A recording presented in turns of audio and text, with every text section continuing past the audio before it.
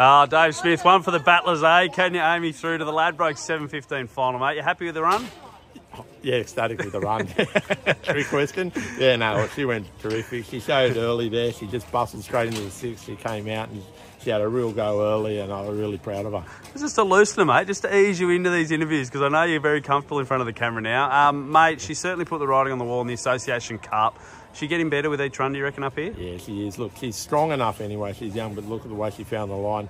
She's still learning how to handle herself in the field and run around. I think, you know, you look at the run, she's just getting better every week, and I think she feels better.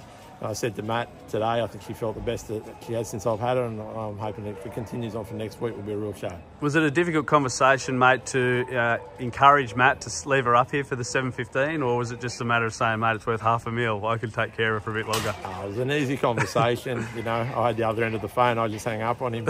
He'd have to come up and get the dog. No, look, uh, as soon as I tried her, I knew she was something a little bit special, and I said, no, I wouldn't mind. And the way it worked out with the Association Cup being put back, I got up here and trialled, and uh, she just went enormous in the trial. So she just lived up to that today.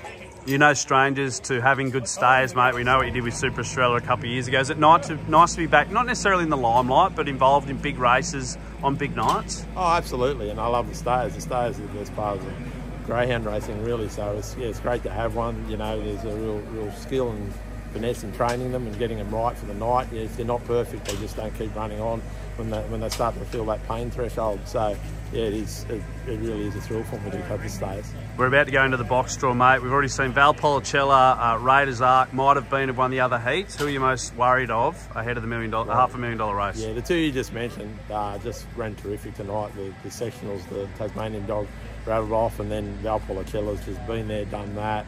Um, trained to the minute, looked a million dollars going out there today. So, yeah, I'm definitely scared of them. Last thing, mate, one thing I love about you, you are a proud Ladbrokes ambassador. You always remember to put that shiny red hat on, mate. Uh, next week, you're racing for half a mil.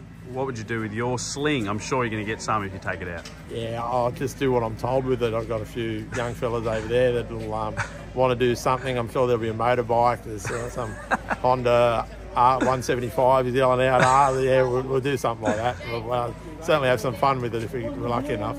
Good on you, mate. Good luck next week. Thank you very much. See you.